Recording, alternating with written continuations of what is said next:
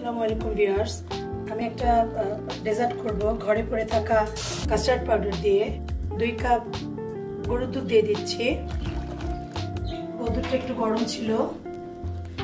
আমি এখানে দিয়ে দিব একটু পাউডার মিল্ক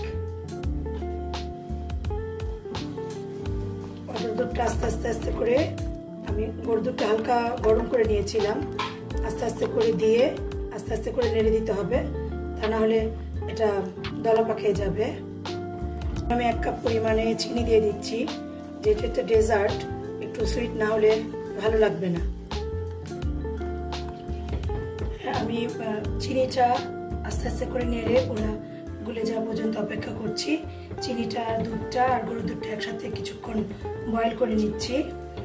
আর এখানে আমি এক কাপ পরিমাণে, এখানে আমি এক কাপ পরিমাণে কাস্টার্ড পাউডার নিয়েছি। এখন আমি এক কাপ পরিমাণে পানি নিচ্ছি নর্মাল পানি। কারণ এটা গরম পানিতে দেওয়া যাবে না। এটা আমি ঠান্ডা পানিতে এভাবে ভালো করে গুলিয়ে নিব। ভিউয়ার্স আমার চিনিটা মোটামুটি গলে গিয়েছে। তো আমি দুধটাকে আর একটু ঘন করে নিচ্ছি। এখানে আমার পাউডারটা গোলানো হয়ে গিয়েছে। পাউডারটা ভালো করে গুলিয়ে নিয়েছি। তো আমি যেই পাত্রে এটাকে ঢালবো, সেটাকে আমি একটু ঘি ময়েস্ট করে নিচ্ছি। কারণ এটা চুলে দেওয়ার পর অতটা সময় থাকবে না এটাকে বসানোর জন্য। তো এটাকে আমি ভালো করে একটু ঘি মেখে নিচ্ছি। ওকে ভিয়ার্স আমার চিনিটা অলরেডি গলে গিয়েছে, দুধটাও ঘন হয়ে গিয়েছে, আমি যে যেমনটা চেয়েছি। আমি এটাতে যে ঘিটা করেছি ব্রাশ করেছি, আপনার ইচ্ছা হলে ঘি না থাকলে অয়েলও ব্রাশ করে নিতে পারেন। সো আমি এখন এখানে অল্প অল্প করে আমার কাস্টার্ড পাউডারটা গোলানো কাস্টার্ড পাউডারটা ঢেলে দিব। নাড়ি নেড়ে ঢেলে আস্তে আস্তে নেড়ে দিতে হবে।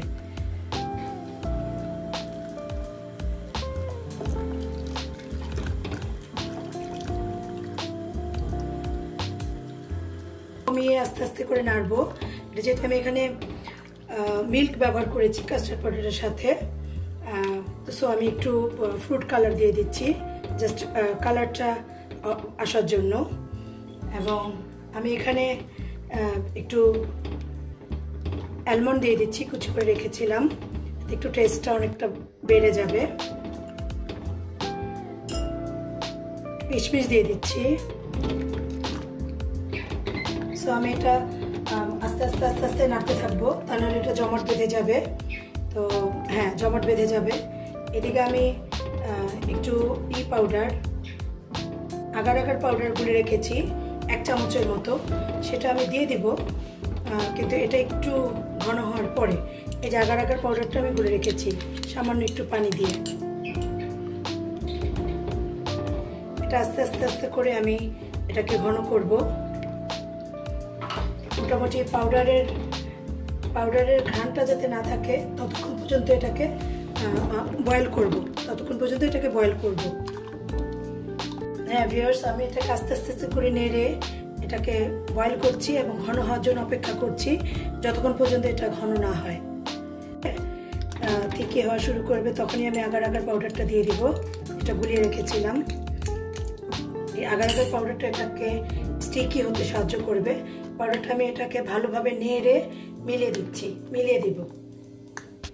অলমোস্ট আমার হয়ে গিয়েছে। এটা বসার জন্য।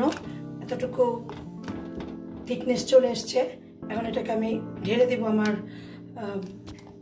একটা ডেকোরেশন করা বক্স নিয়েছি। আপনারা আপনাদের ইচ্ছে অনুযায়ী বাটি নিতে পারেন। তো আমি এটা নিয়েছি। এটাতে এখন ঢেলে দিচ্ছি অলমোস্ট আমার হয়ে গিয়েছে।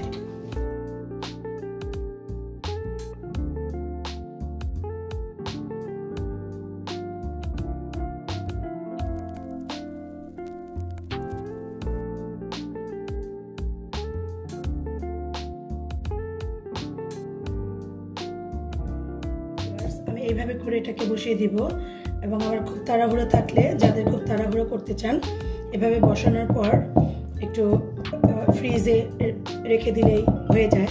তো সো আমি আজকে ফ্রিজে রাখব না। আমি দশ মিনিট অপেক্ষা করব। এটা পুরো সেট হওয়ার জন্য। সেট হয়ে গেলে আমি আপনাদেরকে সাজিয়ে দেখাবো। ভিউয়ার্স আমি আমি দশ মিনিট হয়ে গিয়েছে আমার এটা। আমি প্লেটটায় একটু ঘি ব্রাশ করে নিচ্ছি।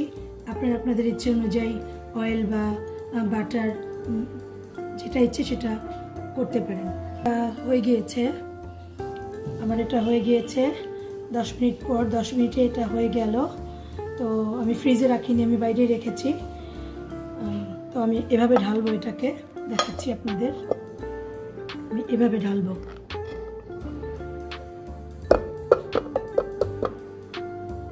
হ্যাঁ আমার এটা হয়ে গিয়েছে। তো সো আমি এটাকে একটু ডেকোরেট করছি। বাচ্চারা একটু অ্যালমন্ড পছন্দ করে দেখলে, খেতে চাইতে পারে। আর অনেক বাচ্চারা খেতে চায় না। ফার্স্ট আমি একটু ডেকোরেশন দিয়েছি, একটু কাজু বাদাম দিয়ে দিচ্ছি। এটাকে তো ক্যাশোনাট বাদামও বলে সো এটা দিয়ে দিচ্ছি। তো আমি বিক্রমপুরের মেয়ে পেজ থেকে এটা করছি।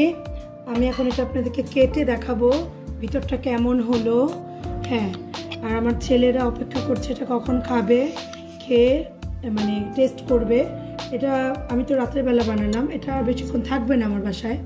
মানে খুব দ্রুতই শেষ হয়ে যাবে। দেখুন ভিউয়ার্স হ্যাঁ আমি খুব অল্প সময় এটা রেখেছি ধোয়া উঠছে এখনও এই দেখুন ধোয়া উঠছে এখনও তো সো আমি এটাকে সার্ভ করব। সার্ভ করব, আমার ছেলে খাবে। তো দেখুন হ্যাঁ এটাকে আমি সার্ভ করব। হ্যাঁ এই দেখুন কেমন হলো ডেজার্টটা। খুবই টেস্টি একটা ডেজার্ট খুবই ভালো লাগবে। তো সো, আপনারা পাশেই থাকুন, আমার চ্যানেলটাকে সাবস্ক্রাইব করবেন এবং আমার জন্য দোয়া করবেন যাতে আমি পরবর্তীতে আরও নতুন রেসিপি নিয়ে আসতে পারি। ভালো থাকেন, আসসালামু আলাইকুম।